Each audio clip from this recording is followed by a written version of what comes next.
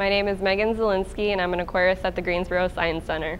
So prior to having Surfer's annual exam, we focused a lot on his training. So initially, he was trained to come to a target. For Surfer, his target is the yellow buoy, and we use it when we call him to session. We use it to do math tactiles on him. It kind of helps us to lead him where we'd like him to go. It's an easy way for us to communicate with him. Um, he can do circles with that buoy. Um, he can follow it anywhere in the exhibit, whether it's in the acclimation pool or on Shark Reef. It came in handy when preparing for his annual physical because with the medical blue tub that we use to do the procedure with, we can target him into the tub vertically and then we're able to flip the tub horizontally where he's safe and then we can add the drugs for the medical procedure.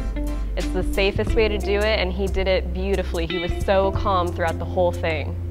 It took us about three months to get him ready for the annual exam.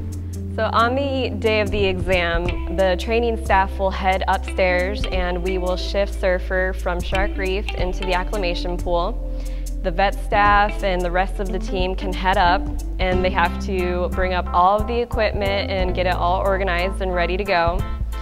And then the first thing that Dr. Sam is going to do after we set up the oxygen and make sure that everything is set is he's gonna hop into the acclimation pool and trim his barb because safety is number one.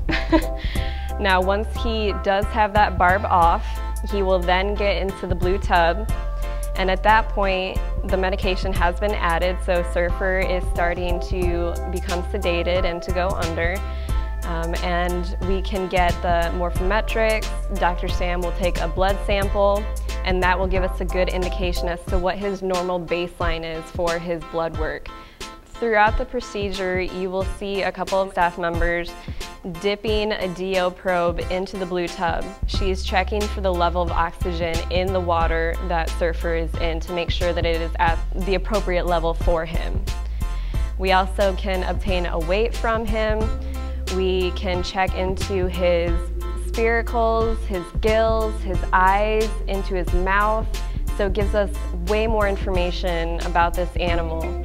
Um, and then we also do an ultrasound to get an idea as to what's going on internally because obviously there's only so much we can see from the outside. I am so proud of Surfer and how well he did. It just goes to show how beneficial training is and how intelligent our animals are.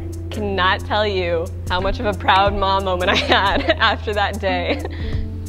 It is an honor to be able to work with an animal like Surfer. He is quite the individual and he brings a smile to my face every day that I get to go see him. And I love working with my fellow aquarists and the vet staff because they are constantly striving to do all that they can for the animals under our care.